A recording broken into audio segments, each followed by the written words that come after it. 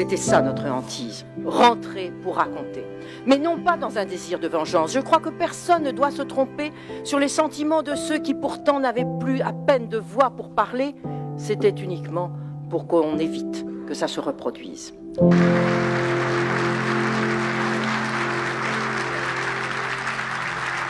Je voudrais vous remercier tous pour la grande preuve de confiance que vous m'avez donnée en me nommant à ce poste éminent.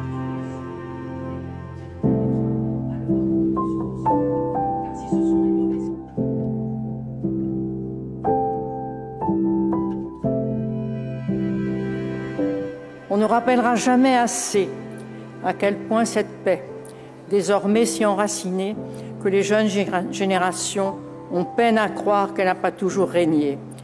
Elle a constitué une révolution par rapport à une histoire émaillée au fil des siècles, de conflits incessants, dramatiques, sanglants, où à deux reprises au XXe siècle, les Européens n'ont pas hésité à inviter toute la planète.